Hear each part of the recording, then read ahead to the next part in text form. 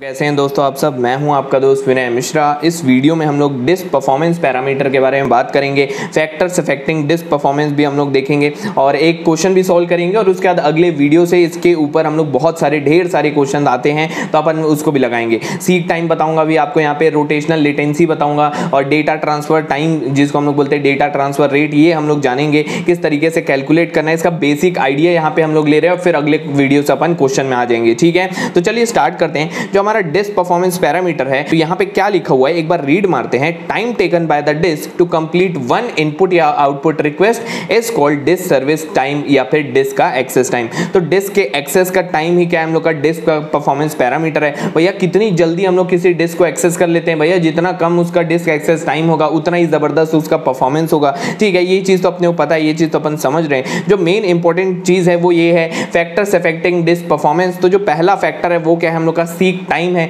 Seek time क्या होता है? देखिए, इसका हम लोग कंसेप्ट जानते हैं। ये मेरा एक प्लेट है, ठीक है? ये मेरा एक प्लेट है। प्लेट के ऊपर का एक सरफेस प्लेट के नीचे का एक सरफेस अपने को पता है। ये मेरा जितने सरफेस होते हैं, उतने रीड राइट हेड होते हैं तो ये मेरा रीड राइट हेड है, ठीक है? और ये क्या है? मेरा रीड राइट हेड है। तो देखिए, ये जो रीड और ये जो मैं यहाँ पे डैश डैश बनाया हूँ, ये क्या है? मेरे ट्रैक्स हैं। ये एक ट्रैक ये दूसरा ट्रैक ये तीसरा ट्रैक फिर ये चौथा ट्रैक तो होता क्या है? होता ये है कि जो हेड है, ये असलियत में अंदर और बाहर जाता है। देखियो, ये अंदर से बाहर गया। ये इस तरीके से अंदर जाएगा, इस ट्रैक को रीड किया, फिर ये अंदर गया, दूसरे ट्रैक को रीड किया, तीसरे ट्रैक को रीड किया, इस तरीके से रीडिंग और राइटिंग होती है, ठीक है? तो एक ट्रैक से दूसरे ट्रैक में जो हम लोग पहुँचते हैं, एक ट्रैक से दूसरे ट्रैक में जाने में जितना समय लगता है, उसी को क्या बोला जाता है? सीक टाइम बोला जाता है। आपको आइडिया समझ में है देखो, इसमें क्या होता है? ये मेरा रीड राइट हेड है। अगर इसको ऊपर से हम लोग देखें रीड राइट हेड है। अगर एक ट्रैक से दूसरे ट्रैक में जब मैं गया, इसको हम लोग क्या बोलेंगे? सीक टाइम बोलेंगे। अब भैया, मेरे को तो डेटा ये वाला रीड करना है, यहाँ पे तो नहीं करना है। तो ये अपन जानते हैं कि ये स्पिंडल के कारण इस तरीके से गोल गोल घूमता है। तो ये जो है गोल गोल घूम के यहाँ पे पहुंचेगा।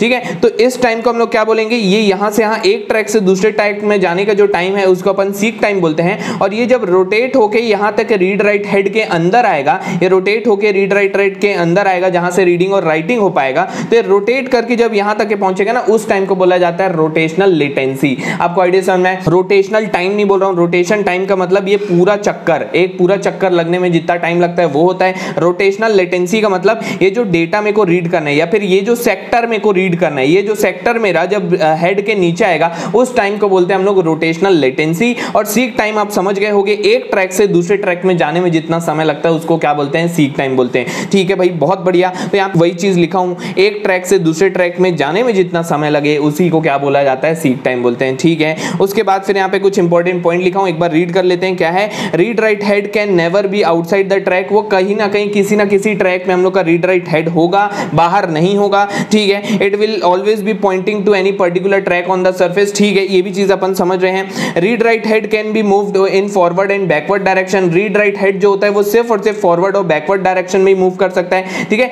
ये एक ट्रैक से दूसरे ट्रैक में फॉरवर्ड और बैकवर्ड ठीक है? और ये जो इसके गोल घूमने के कारण अपन डेटा रीड कर पाते हैं, जो भी सेक्टर अपने को रीड करना है। आप समझ रहोगे, ठीक है?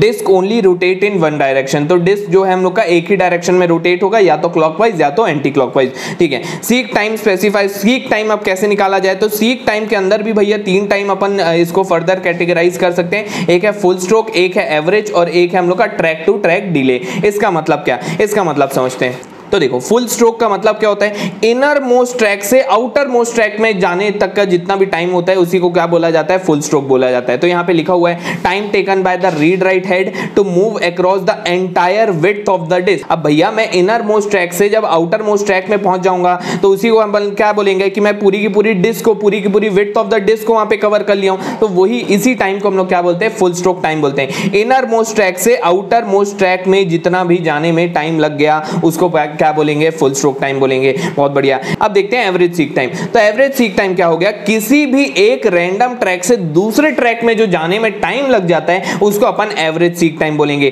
तो ये किस तरीके से निकाला जाए? आपको वहाँ पे फुल स्ट्रोक टाइम प्रोवाइड कर देगा। वन अपॉन थ्री कर देना। फुल स्ट्रोक टाइम का आपको मिल जाएगा एवरेज सीक टाइम इसको डिराइव करने की ज़रूरत नहीं है। आपको अपने दिमाग में इसको बैठा के रखना। ठीक है भाई, बहुत बढ़िया। उसके बाद फिर ट्रैक टू ट्रैक डिले क्या होता है? भैया, कुछ नहीं। Time taken by the read write head from one track to adjacent track मतलब आजू बाजू वाले ट्रैक में जाने में जितना टाइम लगता है, उसको अपन क्या बोलते हैं? ट्रैक टू ट्रैक डिले बोलते हैं। इसको कैसे निकाला जाए? तो भैया, इसके लिए आपको यहाँ पे दे देगा ट्रैक टू ट्रैक डिले अगर मान लेते हैं टी है, और अगर मैं मान लिया कि यहाँ पे एन नंबर ऑफ़ अपने ट्रैक्स हैं तो मैं इस तरीके से लिख सकता हूँ। Zero plus one plus one up to n minus one तक मैं जा रहा हूँ। इसको अपन क्या लिख सकते हैं? N into n minus one upon two ठीक है? और डिवाइडेड बाय ये अपन, क्योंकि एवरेज ले रहे हैं तो जितने भी नंबर ऑफ़ ट्रैक है, मैं एन नंबर ऑफ़ ट्रैक यहाँ पे ले लिया। तो ये एन से एन हो गया कैंसिल और ये अपने पास आ गया फॉर्मूला तो अपने को सीधा फॉर्मूला अपने दिमाग में ध्यान रखना कि अगर एवरेज सीक टाइम निकालना है तो भैया दो तरीके से निकाला जा सकता है। एक तो फुल स्ट्रोक से और दूसरा ट्रैक टू ट्रैक डिले से। तो ट्रैक टू ट्रैक डिले दिया होगा तो n minus one by two को मल्टीप्लाई कर देना। ट्रैक टू ट्रैक डिले से आपका एवरेज सीक टाइम आ जाएगा।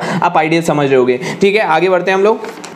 आगे बढ़ते हैं, अब देखते हैं रोटेशनल लेटेंसी तो जो अभी मैं आपको बताया, पहले अपन एक ट्रैक से दूसरे ट्रैक में पहुँचे। अब ज़रूरी तो नहीं है कि यही वाला जगह अपने को डेटा रीड करना हो। तो ये रोटेट होकर जब इसके नीचे आएगा ना, इसी को क्या बोलते हैं? रोटेशनल लेटेंसी बोलते हैं। तो भाई वही चीज़ लिखा है time taken to reach the desired sector उसी को अपन क्या बोलेंगे? रोटेशनल लेटेंसी बोलेंगे। अच्छा रोटेशनल लेटेंसी और रोटेशन टाइम में फ़र्क है। एक पूरे कंप्लीट रोटेशन का जो टाइम होता है, वो होता है रोटेशन टाइम ठीक है भाई, बहुत बढ़िया। देखो क्वेश्चन में आपको इस तरीके से देगा। क्वेश्चन में आप आपको इस तरीके से लिखा होगा small r number of RPM देगा कुछ ऐसा कुछ लिखा होगा तो आरपीएम का मतलब आपको पता होगा फिजिक्स में आप पढ़े होंगे कहीं ना कहीं आर रोटेशन पर मिनट अगर मैं इसको कन्वर्ट करूँ तो आर रोटेशन पर सेकंड हो जाएगा ठीक है? बहुत बढ़िया. अब इसका मतलब क्या? आर रोटेशन हो रहा है मेरा 60 सेकंड में. तो भैया, एक रोटेशन करने में मेरे को कितना टाइम लगेगा? 60 बाय आर सेकंड लगेगा. 60 बाय आर सेकंड ठीक है तो यही याद रखना है कि एक रोटेशन का टाइम कितना होता है भाई? 60 बाय आर सेकंड होता है. ये काफ़ी काम आएगा. ठीक है? बहुत बढ़िया. इसको दिमाग में रखना। आगे बढ़ते हैं हम लोग। It depends on the rotation speed of the spindle तो भैया स्पिंडल जो है, जितनी स्पीड से रोटेट करेगा, उतना कम अपने को रोटेशनल लेटेंसी लगेगा। आप आइडिया समझ रहे एवरेज रोटेशन लेटेंसी कैसे निकाला जाए? तो भैया वन रोटेशन का टाइम कितना होता है? सिक्सटी बाय आर होता है। तो इसको डिवाइड कर दो टू के साथ तो ये आपको मिल जाएगा एवरेज रोटेशनल लेटेंसी जो भी अभी मैं आपको फॉर्मुला बता रहा हूँ, इसको डिराइव वगैरह करने की ज़रूरत नहीं है। सीधा अपने दिमाग में रखो क्वेश्चन ज़रूर बन जाएँगे। ठीक है half of the one rotation time अगर अपन कर देते हैं तो अपने को क्या मिल जाएगा? एवरेज रोटेशनल लेटेंसी मिल जाएगा। ठीक है भाई तो ये कितना आ गया? Half into sixty by r मतलब की थर्टी बाय आर सेकेंड ठीक है? समझ गए? बहुत बढ़िया। आगे बढ़ते हैं हम लोग। अगला देखते हैं डेटा ट्रांसफ़र टाइम तो डेटा ट्रांसफ़र टाइम क्या होगा? जितना भी अपन रीड राइट ऑपरेशन परफॉर्म कर रहे हैं, उसमें जो टाइम लग जाएगा अपना, उसी को अपन क्या बोलेंगे? डेटा ट्रांसफ़र टाइम बोलेंगे। इसको और डिटेल में थोड़ा समझते हैं। देखो, अपन ये जानते हैं कि एक ट्रैक रोटेशन टाइम कितना होता है भैया? जितना एक ट्रैक क्या होता है? एक सर्कल एक रोटेशन जो जितना एक रोटेशन में टाइम लगेगा, उतना ही एक ट्रैक रोटेशन टाइम होगा। ठीक है, ये चीज़ समझ गए। अब देखो क्वेश्चन में इस तरीके से देगा कि आर आरपीएम है। सेक्टर का साइज़ आपको दे देगा एक्स बाइट मतलब आपको एक्स बाइट ऑफ़ डेटा यहाँ पे रीड मारना है, ठीक है? देखो ट्रैक का साइज़ क्या है? वाई बाइट है, ठीक है? देखो ट्रैक का साइज़ कितना है? वाई बाइट है। और एक बार ट्रैक को रीड या फिर राइट करने में कितना टाइम लगता है? वन रोटेशन टाइम लगता है। तो भैया वाई बाइट को आपको रीड करने में वन रोटेशन टाइम अभी आपको बताया था सिक्सटी बाय आर होता है। तो इसका मतलब मैं यहाँ पे क्या लिख सकता हूँ? एक बाइट रीड करने में कितना लगेगा? Sixty upon r by y होगा। ये वाई नीचे चला जाएगा। एक्स बाइट ऑफ़ डेटा को मेरे को यहाँ पे रीड करने में या फिर राइट करने में कितना टाइम लगेगा? इतना टाइम लगेगा। तो यही तो है मेरा डेटा ट्रांसफ़र टाइम ठीक है? यही तो है मेरा डेटा ट्रांसफ़र रेट आपको आइडिया समझ में है ठीक है भाई, बहुत बढ़िया। आगे बढ़ते हैं कंट्रोलर ओवरहेड तो भैया time taken by the disk to manage the disk तो डिस्क अपने आप को मैनेज करता है कि कहाँ हम लोग का डेटा जा रहा है और किस पेज को लोड करना है। जो भी है, अपना एक्स्ट्रा ओवरहेड डेटा वो है ये। क्वेश्चन में दिया है तो इसको ऐड कर देना। नहीं दिया है तो ज़ीरो मान लेना, ठीक है? क्यू डिले होता है? Time spend waiting for the disk to be free तो भैया, एक बार डिस्क हम लोग का फ्री कब होता है? अगले ऑपरेशन के लिए, वो जो टाइम होता है, वो जो बीच का टाइम होता है, उसको अपन क्यू डिले बोलते हैं। तो अगर क्वेश्चन में दिया है तो ऐड कर देना, नहीं दिया है तो ज़ीरो मान लेना, ठीक है? उसके बाद all the track of the disk has same storage capacity by default ठीक है? अब मैं आपको बताया था कि कांस्टेंट ट्रैक कैपेसिटी वाला अपन by default constant track capacity use करते हैं तो सारे के सारे जो ट्रैक है, उनका स्टोरेज कैपेसिटी क्या होगा? सेम होगा। ये अपन को मान के चलना है। और डिस्क को एक्सेस करने का टाइम कितना हो जाएगा? भैया, अभी अपन पढ़े सीक टाइम अभी अपन पढ़े रोटेशनल लेटेंसी और डेटा ट्रांसफ़र टाइम अगर डेटा ट्रांसफ़र हो रहा होगा तो लेना। मतलब रीड है राइट ऑपरेशन हो रहा होगा सेक्टर में, तभी लेना, नहीं तो नहीं लेना। ठीक है? अभी क्वेश्चन करेंगे तो आइडिया और क्लियर होगा। कंट्रोलर डिले ठीक है? प्लस कंट्रोलर डिले अगर दिया तो वो प्लस क्यू डिले आपको आइडिया समझ में ठीक है। आगे बढ़ते हैं। जल्दी से एक क्वेश्चन देख लेते हैं। बहुत सिंपल है। पिछला ही वाला क्वेश्चन है। पिछले वीडियो में जो अपन क्वेश्चन ले रहे थे। देखो यहाँ पे एक डिस्क पैक दे के रखा है। 16 सरफेस दे के रखा है। 128 ट्रैक है पर सरफेस 256 सेक्टर है पर ट्रैक और और 512 बाइट ऑफ़ डेटा है पर सेक्टर ठीक है? और उसके बाद फिर if the disk is rotating at इतना आरपीएम ठीक है? आर आरपीएम वही what is the data transfer rate तो डेटा ट्रांसफ़र रेट कैसे निकाला जा सकता है? तो भाई, बहुत सिंपल जो भी आपका ट्रैक का साइज़ होगा डिवाइडेड बाय जो भी आपका रोटेशन टाइम होगा, यही तो होता था, जो मैं अभी आपको बता रहा था ना। तो डेटा ट्रांसफ़र रेट कैसे निकालोगे? ट्रैक का साइज़ निकाल लो divided by rotation time rotation time निकालने में कोई दिक्कत नहीं है भाई सिक्सटी अपॉन आर कर देंगे। सिक्सटी अपॉन जो भी चीज़ लिखा है, ये रोटेशन टाइम आ जाएगा। अब बस अपने को ट्रैक का साइज़ चाहिए। तो ट्रैक का साइज़ भी पिछली बार निकालना बता दिया था। तो किसको इसको मल्टीप्लाई करोगे? आप देखो 256 सेक्टर पर ट्रैक है। इन दोनों को अगर मल्टीप्लाई करोगे सेक्टर से सेक्टर कैंसिल ये हो जाएगा 256 बाइट पर ट्रैक हो जाएगा। तो इसका मतलब ये आपको मिल जाएगा ट्रैक का साइज़ ठीक है? तो ये ट्रैक का साइज़ मिल गया, इसको अपन इस तरीके से कन्वर्ट कर लिए। बस दोनों को डिवाइड कर दिए आंसर आपके सामने है। ठीक है? आपको समझ में आए आगे बढ़ते हैं, एक और क्वेश्चन जल्दी से यहाँ पे देख लेते हैं। If disk has rotation speed आपको देके रखा है आर आरपीएम आर आरपीएम देके रखा है, इसका मतलब आपको रोटेशनल डिले आपको पता चल जाएगा। ठीक है एवरेज रोटेशन यहाँ पे क्योंकि एवरेज एक्सेस टाइम पूछा है तो अपने को क्या करना होगा? एवरेज रोटेशन डिले लेना होगा। देखो, ये जो अपन फॉर्मुला यहाँ पे लिखे ना, ये जो फॉर्मुला है, ये डिस्क एक्सेस टाइम अगर अपने को एवरेज डिस्क एक्सेस टाइम पूछ देगा तो एवरेज सीक टाइम ले लेना एवरेज रोटेशनल ले लेना एवरेज लेना, इसको भी एवरेज लेना, सब कुछ एवरेज ले लेना, ठीक है? बहुत बढ़िया। अब देखो एवरेज रोटेशन डिले कैसे निकालते हैं भैया? थर्टी अपॉन आर होता है, यही फॉर्मुला अपन देखे थे, या फिर ऐसे लिख सकते हो? तो ये अपने को दे के रखा है, ये अपन एवरेज रोटेशनल डिले निकाल लिए। अब यहाँ पे सीक टाइम अपने को दे के रखा है डायरेक्टली तो ये जो सीक टाइम दे के रखा होगा वो ये एवरेज वाला ही होगा।